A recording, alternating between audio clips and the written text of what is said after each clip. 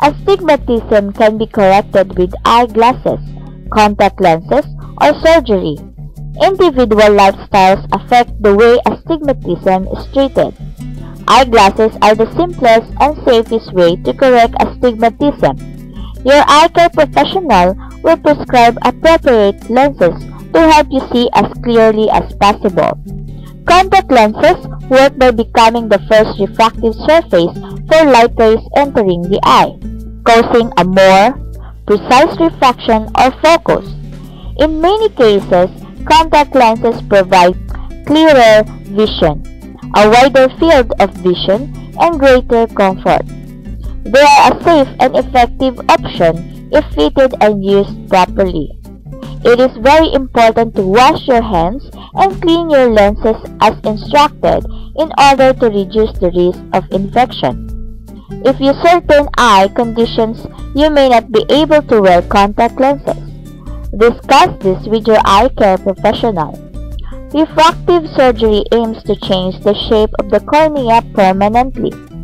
This change in eye shape restores the focusing power of the eye by allowing the light rays to focus precisely on the retina for improved vision. There are many types of refractive surgeries. Your eye care professional can help you decide if surgery is an option for you. Astigmatism is a common type of refractive error. It is a condition in which the eye does not focus light evenly onto the retina, the light-sensitive tissue at the back of the eye. Astigmatism occurs when light is bent differently depending on where it strikes the cornea and passes through the eyeball.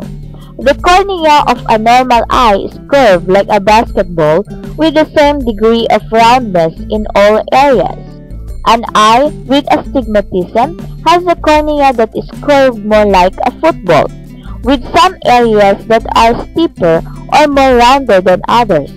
This can cause images to appear blurry and stretch out. Astigmatism is usually found during a comprehensive dilated eye exam. Being aware of any changes in your vision is important. It can help in detecting any common vision problems. If you notice any changes in your vision, visit your eye care professional for a comprehensive eye dilated examination. You can find more useful information about how you can cure myopia at www.curemyopia.com now.